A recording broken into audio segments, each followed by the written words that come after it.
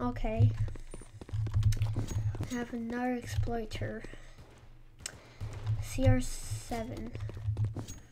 Well, it, it looks like he's just killing normally, right? Well, wrong. But he's gonna kill me for well, any minute by now.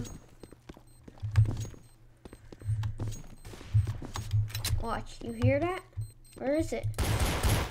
See, he just went to the wall. For that wall. For into that wall.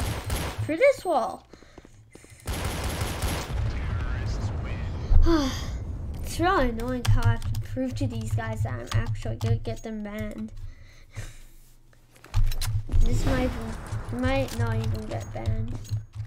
I mean, if they don't like, if the devs don't like listen, if the devs don't listen, then this guy might not, might not even get banned, which is really annoying. And also another thing, he says that, um, yeah.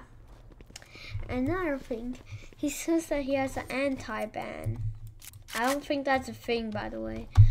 So, um, my god. Door just closed. Wind.